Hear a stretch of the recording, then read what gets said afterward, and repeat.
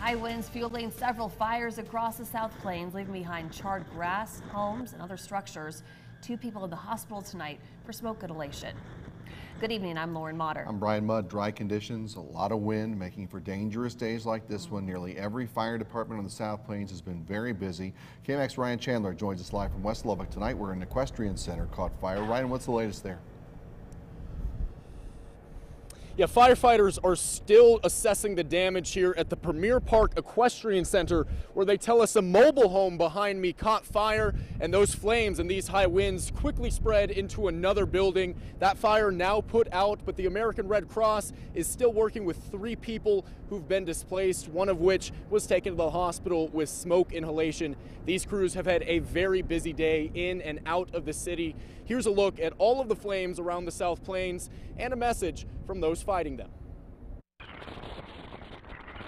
As the sun set in a haze of smoke and dust from a fiery day across the South Plains, firefighters still dousing a blaze at an equestrian center, sending horses scattering as the wind picked up embers from a dry field and spread the fire into two structures. All the animals made it out safe, but these same conditions sparked flames in at least three other major fires in one afternoon. Evacuations in Levelland and near the Reese Center sent people fleeing from grass fires and heavy smoke, drawing volunteer fire departments from across the region. And in the middle of the city, one man sent to the hospital for smoke inhalation as flames collapsed his roof, wind carrying the embers from the backyard and into the attic, even damaging the neighbor's backyard.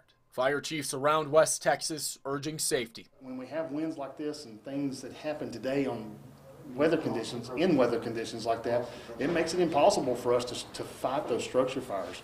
So, uh, lesson learned today. I want everyone else to take this under advisement and, and, and create that defensible space around their property. If there is any reassuring news with all of these fires today, it is this. Only three people have reported injuries, all of which are expected to be okay, just treated for some minor smoke inhalation, but everybody and every animal is okay today. I got to speak with the son of the mother who lost her home in southwest Lubbock today. He said while they may have lost a lot of stuff, there were only two things in that house that were irreplaceable. That was the two people inside, and he's very happy that they are safe and well tonight. As are we, Ryan. Thank you. We're also watching a big wildfire burning in Ruidoso, New Mexico tonight. Those folks are without power. Many have been forced to evacuate their homes and are staying inside the Ruidoso Convention Center. At last word, about 150 homes have burned, along with about 15,000 acres. Those under evacuation orders include the Moon Mountain, Gavilan Canyon, Hull Road, and Paradise Canyon areas. The Red Cross helping those affected by that fire tonight.